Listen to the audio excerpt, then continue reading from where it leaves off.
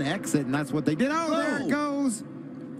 Contact between Peters and Bell. Can Bell gather it in? Definitely some contact. And the five of Korbin Forrister through the grass tears up the front end of that. A lot of damage to Bell's truck.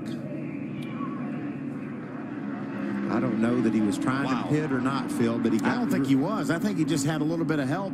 got low, real Got a little low bit on of the track. yeah. That's where we talked about where you can't have any bumping. You're in the banks, you come to the Watch the replay here. The Timothy Peters in that got- white truck. He got a little bit sideways, I think, Mikey. Yeah, just loose. And Peters just does an amazing job of avoiding this accident.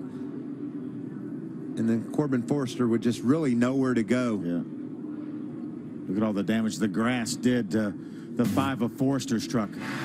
Right along with Christopher Bell. Second time he's had an issue in that spot tonight.